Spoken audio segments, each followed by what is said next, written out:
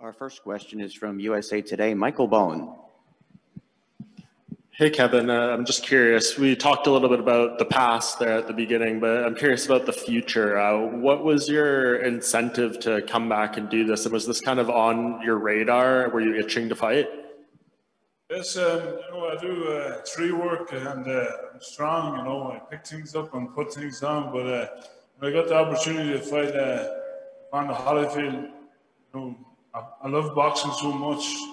this is a, you know, great chance to show uh, that I, I can uh, do well against Evander, and then hopefully uh, Mike Tyson uh, want to come off the stool and, and have a rematch and fight me, and let's get the job done. You know, finish the job. What do you just make of the matchup with Evander here? I mean, he obviously hasn't fought in so long. What do you expect out of him? Oh, Evander Holyfield is a legend. Everybody knows Evander. He's very uh, looks very fit. He's in good shape, and um, you know he's come to fight. I come to fight. It's going to be exciting.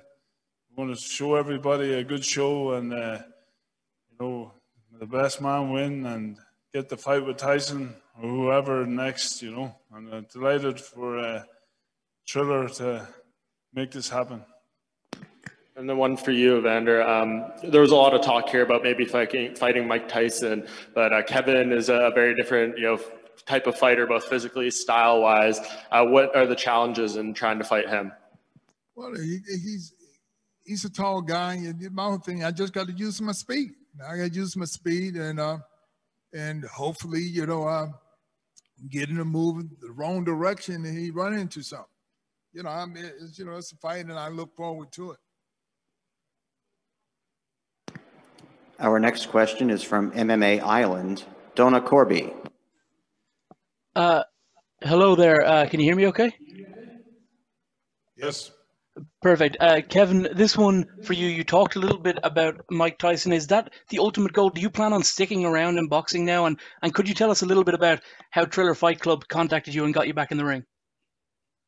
It's true. Um, Ken Casey, uh, Dropkick Murphys, uh, he called me up and he said, Are you in shape? And I says, I'm in good shape for the shape I'm in. And uh, says that uh, there's possibility you fight him on the Holyfield. I says, let's get it on, you know, because uh, Evander Holyfield's a legend, you know, and he's a, must be a better legend than uh, Mike Tyson because he beat Mike Tyson twice. I beat him once. So this is going to be exciting. I'm looking forward to it.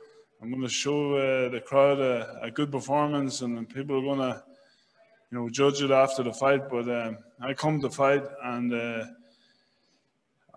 hopefully um, the talk will change over to Mike Tyson to say, I'm going to get up with a stool and fight Kevin McBride and, um, you know, like finish the fight and, uh, the best man win.